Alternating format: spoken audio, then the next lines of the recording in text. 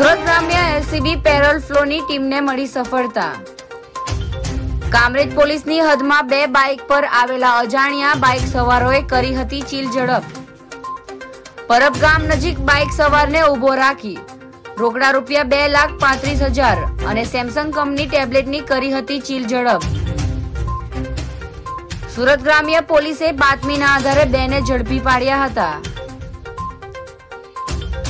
આરોપીની પૂછપરછમાં અન્ય ચીલ ઝડપનો ગુનો ઉકેલાઈ ગયો હતો.